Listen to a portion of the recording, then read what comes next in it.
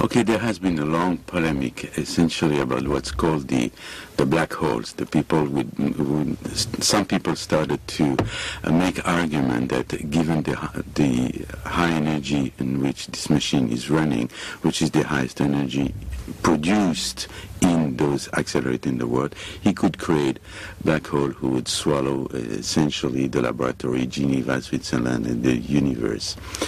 Um, this there this is certainly not the case because on on those galactic scale for black hole, the energy which is produced by the accelerator is quite of tiny, tiny, really tiny. And then the best demonstration that it would not be the case is the fact that constantly Earth is hit by cosmic rays coming from the uh, the galaxies or extragalactic um, uh, objects. And those, uh, those cosmic rays are very, very much more energetic than uh, the energy that we can produce at CERN. So if that would be the case, that if black holes could be produced by such interaction, it would have been the case for a long time already and Earth would not exist. So that's demonstration that uh, at the energy in which we will be running, there is no possibility to form such objects, so it's no danger at all. To find a, you know, the, a particle can exist, but if, depending of its lifetime, you may detect it or not detect it. So uh, presumably what we believe that if the Higgs exists, we will detect it uh, during, probably during next year. Now, the Higgs is the last particle which is missing in the model which regulates particle physics called the Standard Model. This model contains the, the leptons, namely the electrons, the little particle which gravitate around the, the nucleus. It contains uh, what is known the quarks. And in this model, uh, there is one particle which has not been discovered, which is the Higgs. So to discover the Higgs would actually confirm the support the model as being a correct model. It is still a model. Now, uh, if the Higgs is not discovered, either it does not exist or we have not found it. It's two different things. If it's very difficult to prove that something does not exist. If it would be proven that the Higgs does not exist, then the model of particle physics would be in trouble, of course. If it exists, the standard model will be the best model that we know. Now, the main question is probably not the Higgs because the standard model is a pretty solid model for many, many years. So everybody believed that the Higgs will be produced and will be discovered. The main question is to know is there anything else? By anything else, what would mean is there any new generation of particle in our world? Either there is a new generation of particle and effectively at those energy the LHC will be able to discover such a phenomenon or there is none. If there is none then it would mean that the understanding of particle physics although it's a model is pretty complete and then uh, in order to find new fact, one would have to raise the energy to a level which would be impossible to do on, on the Earth. It's called the, the, to a mass which is enormous, called the Max Planck, which is unreachable. Even if you would build an accelerator which would go around the Earth, you would not be able to produce such energy. So it's a great challenge, it's a great question. Is the domain fully understood with the discover, discovery of the Higgs, or is there something else? Those processes that we are looking for are, are very rare in nature all the other processes, of course, have been discovered.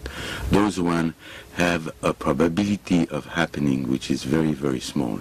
So it requires to collect a lot of data in order to be able to find, like, it's like a, not a needle in, uh, in a pile of hay, but it's, you know, it's a drop uh, in, the, in the ocean uh, to find. So we have to run the accelerator for some time in order to find it. And uh, right now the accelerator is working. It has been restarting quite successfully finally, after all the work we did and consolidation we did in it, it restarted at the end of February and it is intended that he will run through the year and also through the year uh, 2011 and by the end of 2011 we will have accumulated the biggest amount of data in the world at this uh, energy and probably with such amount of data we will be able to find those new processes.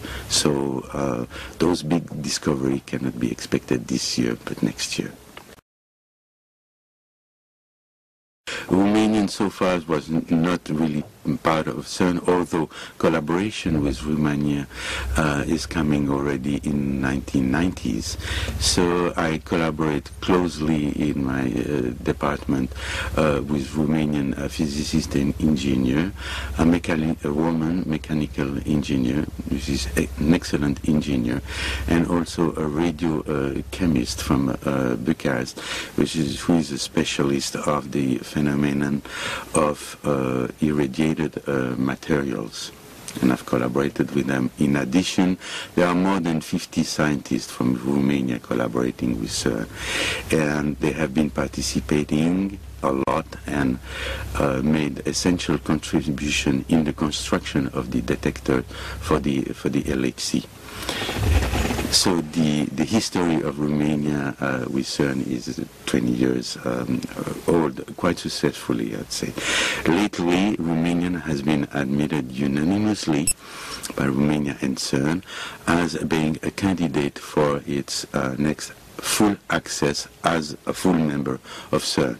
This is a procedure which will take five years, but during those five years there are additional uh, possibilities which are open now for Romania. Uh, the, the young students can come to have a thesis under the CERN programs at CERN. Uh, Romania can also send uh, fellows and a scientific uh, associate. Romanian physicists will benefit from all possibilities activities offered by CERN, like all uh, users in, in the world. And also um, the industries in Romania will be able to apply to the offers for construction uh, uh, opened by, by CERN. So there will be an advantage also for the Romanian uh, industries.